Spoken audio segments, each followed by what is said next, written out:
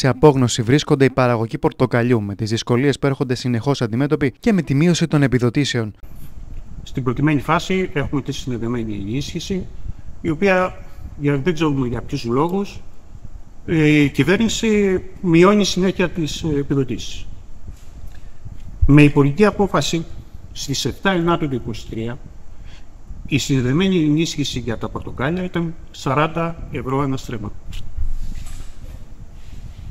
Έρχεται μετά από κάποιους μήνες, ενώ το ΩΣΔΑ έχει τελειώσει, έχει κλείσει, ξέροντας τα στρέμματα που έχουν δηλωθεί και με αφόπαση στις 26 Απριλίου του 2024 το 40 γίνεται 21,8. Ε, ζητήσαμε με ιδιόχειρη επιστολή από τον Πρωθυπουργό να μας εξηγήσει τους λόγους τους οποίους ε, έπεσε αυτή η επιδότηση, απάντηση καμία. Από τη στιγμή που δεν πήραν απάντηση, οι παραγωγοί ξαναέστειλαν επιστολή στον Πρωθυπουργό με τα αιτήματά τους. Ξαναστήλαν επιστολή με κοινοποίηση στο Υπουργείο. Έγινε μια αναπροσαρμογή την περασμένη εβδομάδα από το 21. Από 21 δόθηκαν άλλα 13 ευρώ αναστρέμα περίπου. Χωρίς όμως να ξέρουμε τους λόγους, έχουν ε, προσθεθεί στρέμματα, έχουν χυμοποιηθεί περισσότερα πορτοκάλια. Για ποιους λόγους αυτό περιμένουμε να μας πούνε και δεν μας το λένε.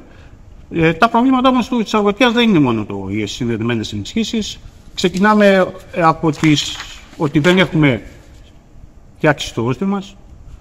Μεγάλη πληγή είναι οι επιπτώσεις της κλιματικής κρίσης και της λειψιδρίας, αφού ήδη έχουν επηρεάσει την καρποδεσία. Το ότι υπάρχει πολύ μεγάλη καρπόπτωση αυτή τη στιγμή στην Αργολίδα και σίγουρα παίζει ρόλο καύσιμας των προηγούμενων μηνών, ο παρατεταμένος καύσιμας των προηγούμενων μηνών, ε, το νερό, η αγωγημότητά του συνεχίζει να είναι μεγάλη, η περιφέρεια ανύπαρκτη, ανύπαρκτη, ξανά. Το μόνο που της νοιάζει είναι να καθαρίσουμε κανένα αγωγό. Και μέχρι εκεί, για την ποιότητα του νερού, καμία φωνή, καμία κρόση, τίποτα. Από την άλλη, ε, το ΕΛΓΑ συνεχίζει την ίδια ε, στάση. Να μην δίνει στο Υπουργείο τα πορίσματα τις ε, επανεκτιμήσεις, τις οποίες έχουν γίνει πριν από μερικούς μήνες.